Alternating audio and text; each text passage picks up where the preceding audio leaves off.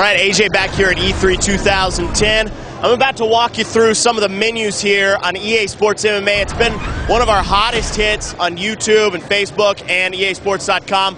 So I'm going to show you guys uh, some of the features and menus and fighters uh, that you can see in the game. So let's get to it. All right, so let's take a look at the main menu here. Uh, since this is the E3 build, all we've got is Fight Now and live broadcasts. So I'm going to show you uh, some of the Fight Now features. We go in here and uh, hop into the menu. You've got your heavyweights, your lightweight, light heavy and uh, middleweight, welterweight, and lightweight. So uh, then I can go down and uh, select the Japanese rules, which as you can see is two rounds, 10 minutes, and then five minutes. Ground kicks allowed. Uh, or you can go with the Strikeforce rules, which is the traditional three rounds, five minutes each.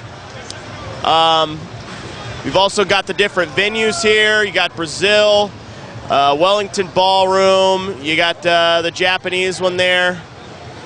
Um, that's under. Uh, and some, and obviously there's going to be more venues, but they're not uh, unlocked on this E3 build.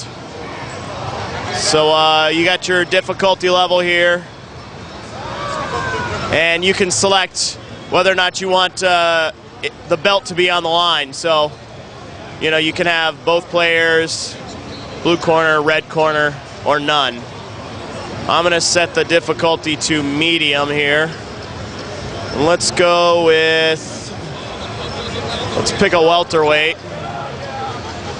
And uh, let's go with the Wellington. Obviously, you've also got the boxing ring, circular cage, and uh, the hexagonal let's go in here with a welterweight.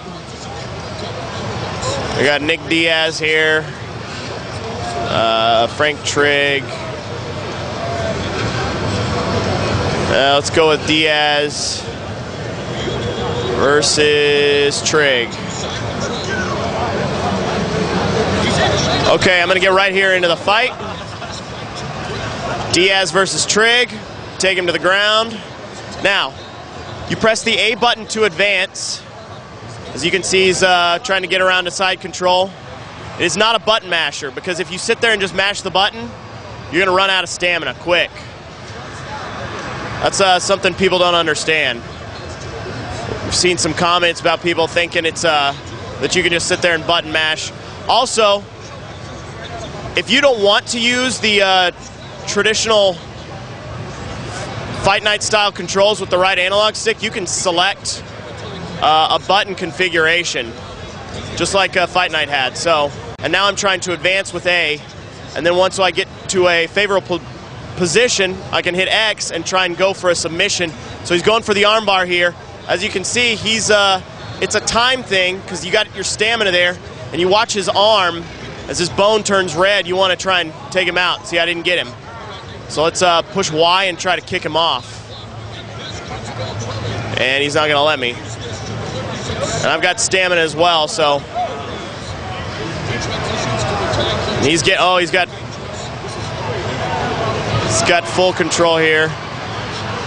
Huh? I'm pushing uh, I'm pushing B here to try and reverse it, and my stamina is just down because I sat there trying to button mash. You cannot do that.